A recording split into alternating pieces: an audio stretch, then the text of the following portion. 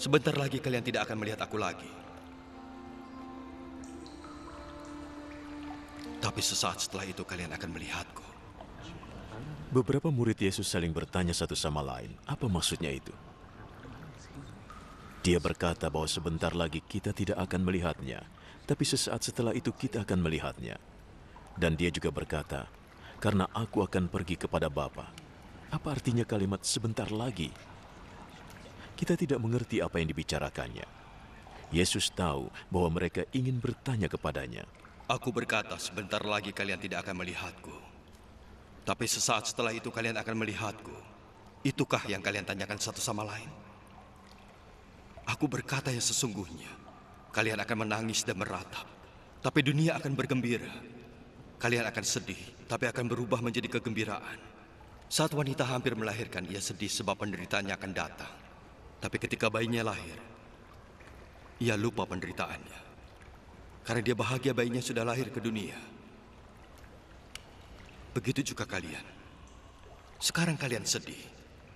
Tapi kita akan bertemu lagi. Dan hati kalian akan dipenuhi kegembiraan. Kegembiraan yang tidak bisa diambil dari kalian oleh siapa pun.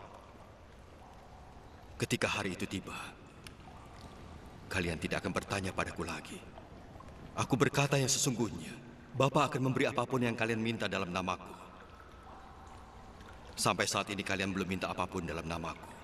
Mintalah, kalian akan menerimanya. Supaya kegembiraan kalian jadi sempurna.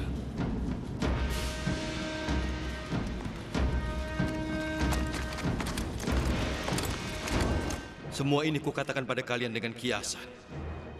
Tapi suatu saat aku tidak memakai kiasan lagi, melainkan bicara terus terang tentang Bapa. Saat itu kalian akan minta pada Bapa dalam namaku.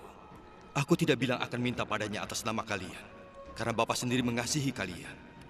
Ia mengasihi kalian karena kalian mengasihiku. Dan percaya aku berasal dari Bapa.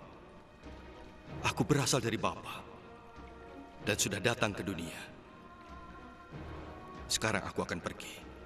Dan kembali pada Bapa. Lalu murid-murid Yesus berkata kepadanya, Sekarang engkau bicara terus terang, tanpa menggunakan kiasan. Sekarang kami mengerti engkau tahu segalanya. Tidak perlu lagi ada yang bertanya kepada engkau. Ini membuat kami percaya bahwa engkau berasal dari Allah. Kalian sekarang percaya? Saatnya akan datang dan sudah datang. Kalian akan dicerai beraikan. Masing-masing akan pulang ke rumah. Dan aku ditinggalkan sendirian. Tapi aku tidak sendiri. Karena Bapa bersamaku. Ini kukatakan supaya kalian mendapat damai karena bersatu denganku. Di dunia kalian akan menderita. Tapi tabahlah. Aku sudah mengalahkan dunia.